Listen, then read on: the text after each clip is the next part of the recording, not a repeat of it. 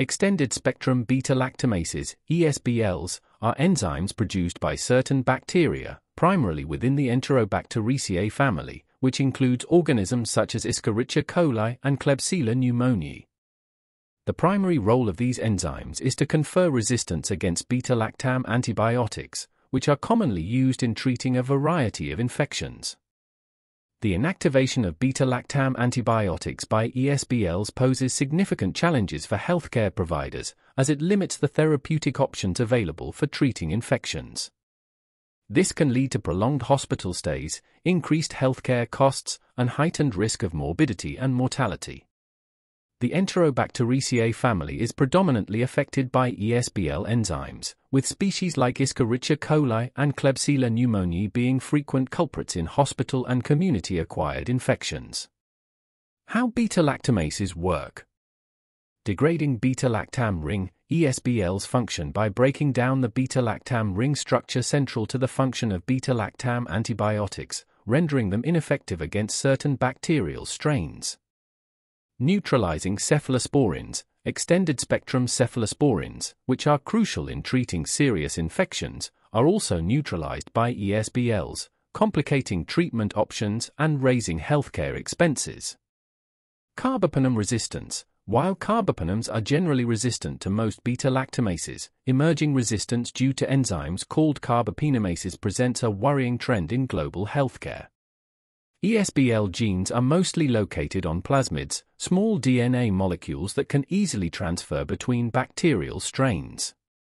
Horizontal gene transfer mechanisms, such as transformation and conjugation, facilitate the dissemination of resistant genes among bacteria. Common ESBL genes. BLA-SHV, commonly found in Klebsiella pneumoniae, this gene complicates treatment due to its widespread occurrence and genetic variability. BLA-CTXM, known for encoding enzymes that hydrolyze cefotaxime efficiently, this gene represents a significant concern for public health worldwide due to its prevalence. BLA-TEM, variants of this gene exhibit diverse substrate specificities, complicating treatment decisions and strategies aimed at controlling ESBL-related infections.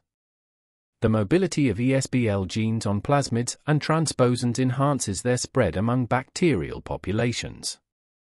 Selective pressure from antibiotic use promotes the persistence of bacteria carrying these resistance genes. Conjugation remains a primary method for the transfer of resistance, which addresses the need for enhanced infection control protocols. Infections caused by ESBLs, urinary tract infections, pneumonia, bloodstream infections, and intra-abdominal infections. Identification methods. Disc diffusion, a routine method for assessing antibiotic resistance. Disc diffusion observes the zones of inhibition around antibiotic discs to determine the susceptibility of bacteria. Double disc synergy test. This test examines the interaction between antibiotics to confirm ESBL production, providing essential information for treatment strategies. E-test, using a gradient of antibiotic concentrations on a strip, the E-test helps determine the minimum inhibitory concentration, MIC, for specific bacteria, informing treatment decisions.